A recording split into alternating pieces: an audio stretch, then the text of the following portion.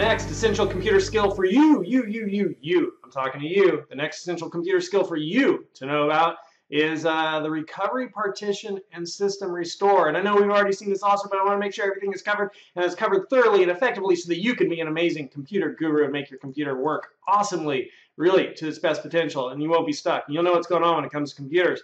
Uh, so sometimes we roll around things. The more we roll around it, the more it sticks. So in this video, you're going to learn explicitly the essential computer skill of what the recovery partition is and what system restore is.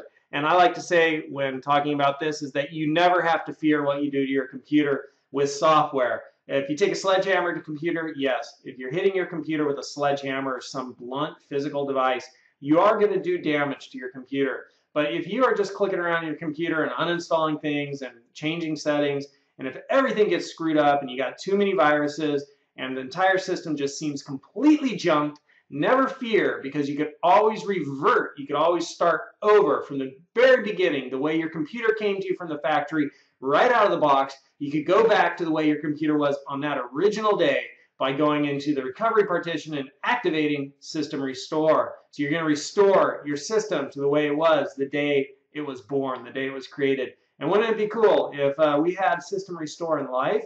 If we could, you know, just like hit system restore if we made a bad decision and roll things back a little bit.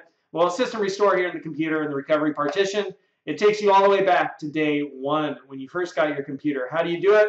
All you do is you go to Google and you type in your model, your manufacturer, your model number, right? I have a Dell XPS 8500 and I have a Dell XPS 8500 and then I type system restore and it's going to give me directions for restoring factory settings to their default and I just follow those keystrokes and I access system restore and I could put I could put everything back the way it was the day I got my computer from the factory.